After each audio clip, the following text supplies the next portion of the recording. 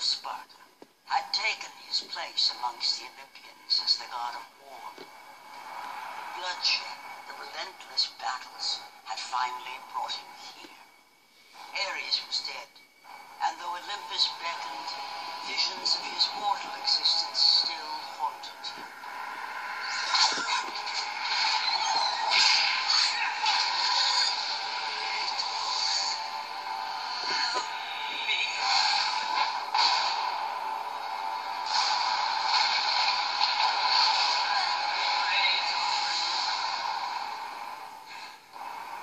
Kratos knew that this was not a mere vision.